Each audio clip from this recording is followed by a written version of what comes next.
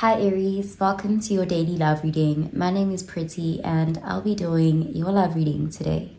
So before we begin with your love reading, Aries, please do remember to take what resonates and to leave behind whatever does not. Okay, so let's begin with your love reading, Aries.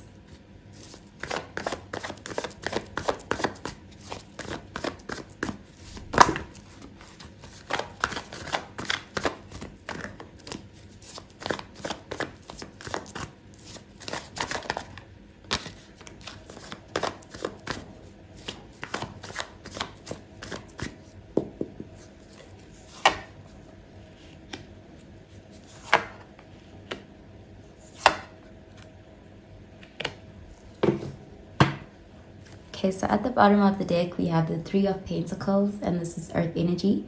Virgo, Taurus, Capricorn energy. So this is a card of collaboration, coming together to build something strong and long-lasting, working together as a team. Um, there's this feeling of being quite practical about how you're approaching this, um, really focusing on the on the details, the foundation here.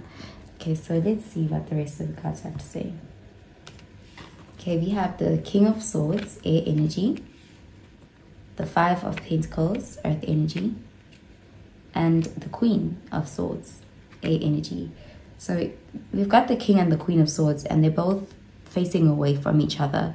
And in the middle, we have the Five of Pentacles, which is a card of uh, lack, a card of feeling left out in the cold, rejection. So this person could be someone where you've had some sort of fallout with. It's been some sort of letdown that has occurred, and you you guys may both be, you know, very in your head about the situation. Because with the swords energy there's a very mental energy here. There's also a feeling of trying not to show each other that you're hurt you know trying not to show each other that uh, your feelings are involved here. There's this feeling of putting on um, a bit of a brave face or even just a, a logical kind of face like you, you don't want to look too bothered or emotional. Um, but with this three of pentacles it does look like you guys will be coming together to work on something. But it's like you're taking a very rational approach. You're like you're being practical about it. Both people here they they care about each other but there's this feeling of not letting that be known not showing the feelings too much um, they, uh, uh, you guys may just be taking things slowly and not wanting to be too emotionally invested too soon. Um, there's something about just building something in a practical sense. Um, perhaps there's this feeling of staying together because there's this feeling of um, it just makes sense on paper. There's, you know, there's other responsibilities keeping you together. Um, but with the Queen and the King of Swords facing away from each other, it looks like there's a lot that hasn't been expressed to each other. Like you guys have held back when it comes to communicating, especially about how you feel or how the situation made you feel. Um, there's this feeling of really trying to look brave or strong, but on the inside, there's still some hurt, and this could be on both sides. Okay, so let's clarify these cards, Aries.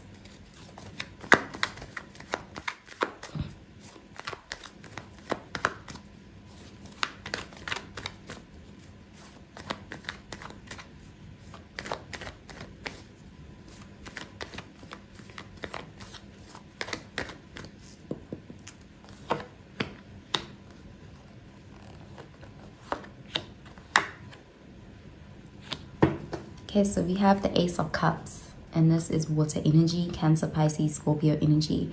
So there is this feeling of a lot of emotion. It's even overflowing. Um, there isn't. There is going to be an opportunity here to express one's feelings, um, a, an opportunity to have a heart to heart. But it looks like it may be delayed, um, especially because both people here look like they want to appear like they don't care too much. But I do see a reconciliation with the Three of Pentacles and with this Ace of Cups, an opportunity to express yourself. Okay, so let's see. Okay, we have the Chariot, Cancer energy, the Ten of Cups, Water energy, and the Six of Pentacles, Earth energy. Okay, so both people are still very invested in the situation, and there is this view of each other um, as being meant to be. This person, you match each other with this King and Queen of Swords. There's something about you guys matching each other's energy. And with the Ten of Cups, you perhaps you guys had this before this Five of Pentacles situation happened. Um, but there's it's like you guys can get back to that. There's this feeling of restoring a connection you know really saving something but it's going to require efforts. With the chariot there's almost this feeling of moving mountains overcoming obstacles. It's not something that's happening overnight. It's not easy but it requires two people who are willing and determined and it looks like you're both willing and determined because the chariot can be a lot of willpower and with that three of pentacles there's this feeling of fixing things focusing on the details giving more to the situation and with the six of pentacles is um, giving to the situation trying to balance things out trying to achieve that balanced partnership again trying to restore things. Um, with the six of pentacles and the three of pentacles something could have came in between you it could have even been like someone was giving to something or someone else, and this really um, affected the trust in the situation. But it does look like you guys will have an opportunity to discuss something and to repair a situation, to clear the air in some way. Okay, so I'm gonna pull out an oracle card for you, Aries.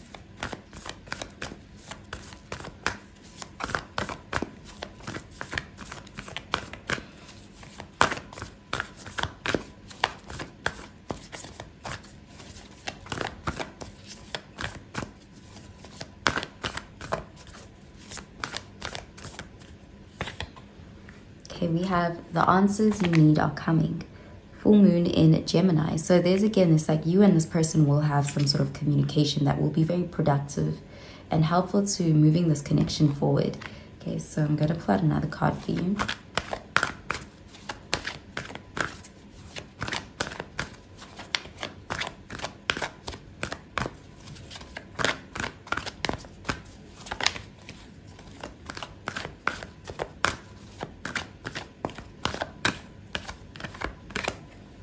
Okay, we have getting to know each other. As you reveal your innermost selves to each other, your bond deepens. So there's this need to take off that mask, that unbothered mask, because I do see there's a lot of emotions beneath the surface and there's this feeling of needing to really reveal your your your truth being kind of vulnerable or open with each other um, this will really help the connection okay so i'm going to pull out another card for you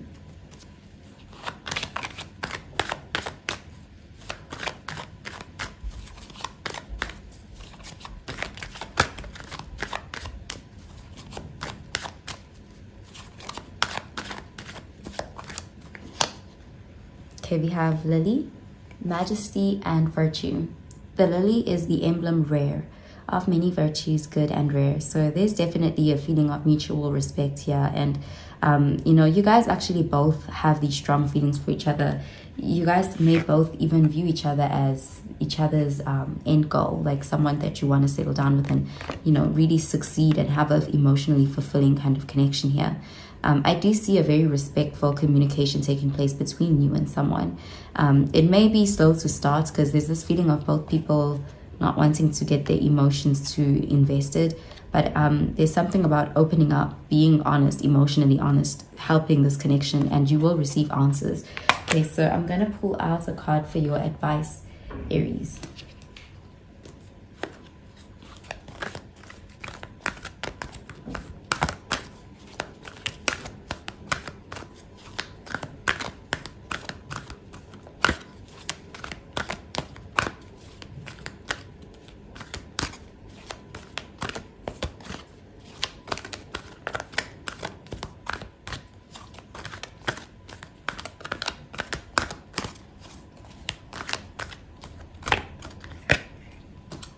Okay, so we have surrender to success.